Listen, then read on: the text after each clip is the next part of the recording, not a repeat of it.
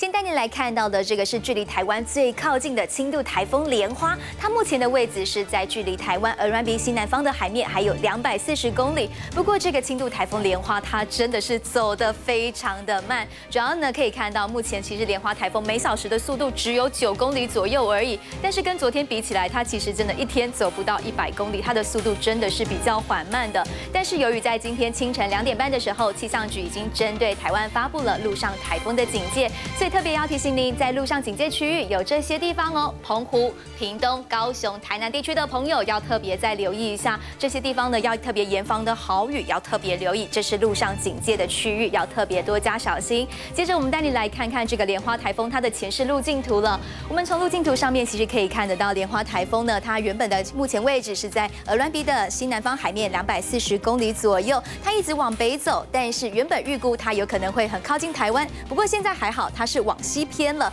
那这个往西偏过去的时候呢，其实它比较会靠近整个中国大陆地区，所以呢，其实它不会直接接触到台湾的陆地，但是要特别小心了，因为其实它带来的雨量也是不少。我们来看看今天所累积的雨量的部分，目前其实雨量累积较多的话是在台东达人这这边一百三十毫米，还有屏东的满洲以及屏东的牡丹乡这边的累积雨量都已经来到了一百二、一百三左右了，还蛮可观的，要特别留意雨势整个都是集。集中在屏东跟台东的地区，但要特别注意了，因为气象局也针对了好几个地区发布了大豪雨特报，尤其是在屏东跟台东地区的朋友要多加留意，严防豪雨还有坍方。另外，豪雨地区的等级也有可能会出现在高雄还有华联一带。至于大雨的部分，其实整个嘉义以北有没有看到？虽然说现在雨势都还好而已，但是其实嘉义以北从今天下午开始一直到明天都会是雨势影响比较大的时间。这波雨势呢，预计要到星期四的时候。后才会慢慢的趋缓。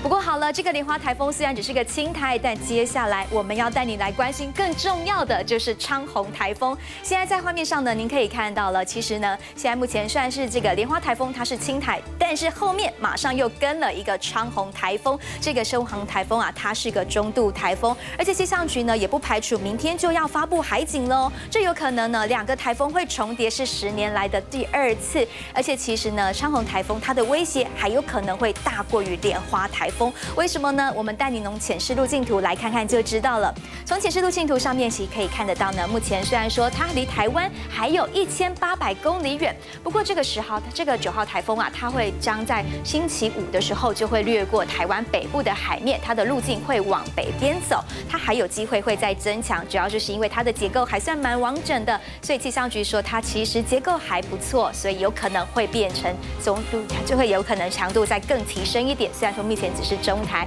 但是要接下来要带你来看到这个昌洪台风它影响台湾的时间点。来看一下，目前影响台湾的时间点，预估会是在星期四的下午开始，将会影响到台湾，于是就会开始比较明显了。尤其是在北部跟东北部地区的朋友。另外，十号星期五的时候会是昌洪台风距离台湾最近的时间，所以影响也会比较剧烈。但是呢，要到了星期六，台风渐渐远离，有可能水汽才会慢慢的减少。所以这个周末其实都还是北北部跟东北部地区都会有一点降雨。如果要出游的朋友啊，可能就要避开北部跟东北部地区了。但最后还是要再提醒一下。要特别注意的就是长浪的部分，主要呢就是因为台风它有可能会从北部的海面掠过，所以在长浪的部分，在整个北部的海面还有东北部的海面都有可能会有长浪发生，最好要远离海边。以上是我们整理的这个台风资讯。